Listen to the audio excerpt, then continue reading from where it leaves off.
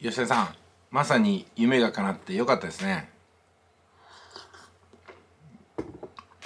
確かにね楽しいことをやってそれを放送してもらってなんかそれが仕事になるってすごいですよね。昔金高薫世界の旅っていうのがあってこれもお話したと思うんですけどもあのまだ海外旅行が高値の花だった時ねそれこそ100万円以上かかった時ってあったんですよ。便数も少ないし本当にこう珍しい時でしたよね、まあ、その頃っていろんな世界中の旅をしたところを番組で放送してそれを仕事にしてる人がいたんですよね。だからこんなんが仕事になるんだったら俺やらせてくれよとかね。あと街角グルメレポートみたいな感じで飯食ってるだけで仕事になるみたいなね。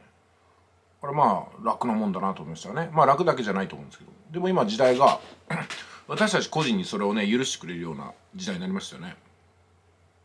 その中でねやっぱこう今回楽ってていう感じ楽しいっていう感じどっちで読んだのか分かりませんけどもそういったことをテーマにお話したいと思いますけどもあの仕事をしてる人がね仕事を楽しんでいること。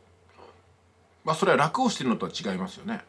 でも楽しんで楽しそうに放送してるところに、まあ、人が寄ってくる。楽しいところに人が寄ってくる。それはあるんじゃないかなと思うんですよ。でも楽してるだけのところに人は寄ってきにくいなと思うんですよね。同じ感じなのに捉え方はだいぶ違うと。いうことでね。これからも楽しいことのためには労力を割かない。例えば車で北海道行くのも俺は楽ではないですよね。でも楽しいですよね。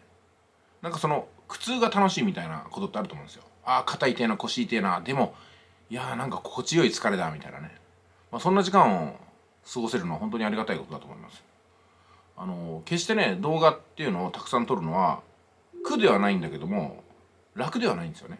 苦しくはないんだけども楽ではないんですよ。楽しいんですよ。その動画を撮る瞬間もそうだしアップロードする瞬間も反応がある瞬間も全部がね楽しいですよね。それからだんだんだんだん楽に変わっていくのは動画のアップロード本数が溜まっていって収入とかお問い合わせが自動的に入るようになったりね。あとみんなの銀行でしょ？あれね結構ねあるんですよねみんなの銀行も。小刻み。に私なかなか30万にならないのはなんかね金額がねちっちゃくなっていったんですよ。なんか1件とかね。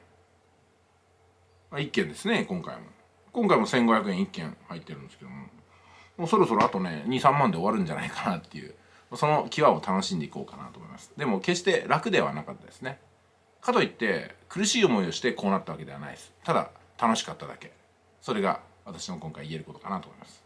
いってらっしゃい。